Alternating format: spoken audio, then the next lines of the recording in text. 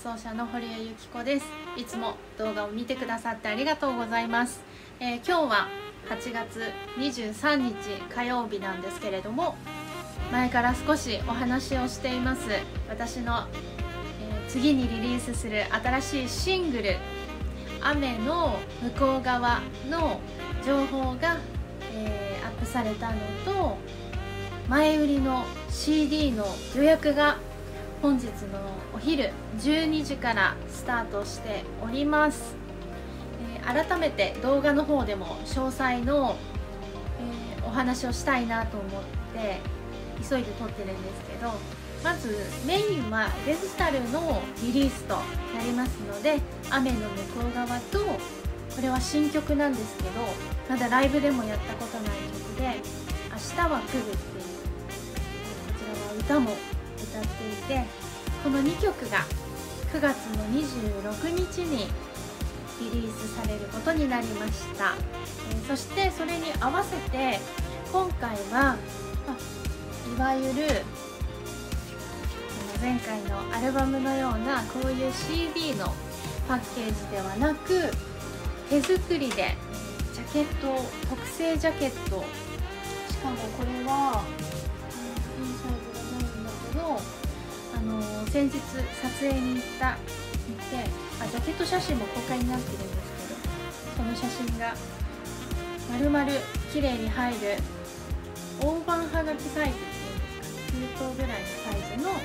ポストカード厚めのカードを表紙としてその裏にクレジットとかのプリントをして CD は、えっと、封筒に入れて手紙のようになものにしようかなと思っています。全部手作りで手作業で一つずつ丁寧に梱包してお送りさせていただく形になるので、あのご購入いただく前に普通の CD じゃないっていうのだけご了承いただけたらなと思います、えー、前売り予約サイトで予約していただいた方には漏れなくサインを1枚ずつ、えー、直筆サインを入れてお送りいたします。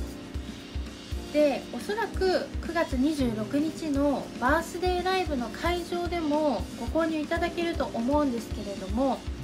え、ご時世柄もありますし時間の関係もあって当日 CD にサインをお入れすることはできないと思うのでサイン入りで欲しいなっていう方は前売り予約いただけるといいかなと思いますさらに今回はもう枚数を限定にしてお送りしようかなと思っているので予約で、多分ないとは思うんですけど予約で完売した場合は一旦サイトの方もこの時点でクローズさせていただくことになります。のでもしご購入ご検討いただけるようでしたら早めにチェックしていただけた方がいいかなと思いますまた好評だった場合はねなんか造反した方がいいのかとかそういうのを考えれたらいいんですけど、まあ、それは嬉しい悲鳴ということでひとまず、えー、限定で CD の販売もいたしますので是非、えー、概要欄に各サイトそして詳細掲載いたしますのでそちらの方でチェックしていただけたら嬉しいなと思います。またねこのリリースとバースデーライブに合わせて他にもグッズとか作れたらいいななんてあの考えているところなので、ま、ひとまず CD の音源の制作を一生懸命やって、余裕ができてきたら他のグッズなんかも考えているので引き続き、え、SNS そしてこの YouTube のチャンネルもチェックしていただけると嬉しいなと思います。なんか淡路島に帰ってたんですけどその動画をたくさん見ていただいてるみたいでまたチャンネル登録してくださる方も少しずつ増えていて本当に皆様いつもありがとうございます、えー、この動画の次には、えー、淡路島でいろいろ感じて思う思うこともあったりひらめいたことがあったので、えー、実家のそばの海でいろんな話を何回にも分けて撮ってきたので